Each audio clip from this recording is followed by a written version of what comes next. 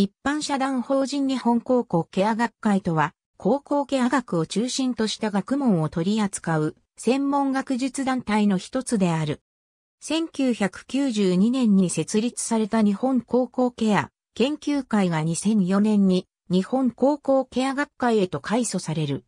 2020年現在、理事長は夏目長と副理事長は星和人。会員は医師、歯科医師、薬剤師、看護師、歯科衛生士、介護福祉士、言語聴覚士、管理栄養士など多職種で構成され7900名以上加入。関連団体である日本高校ケア協会を通じて国民への高校ケアの普及を行っており、5月9日を制定している。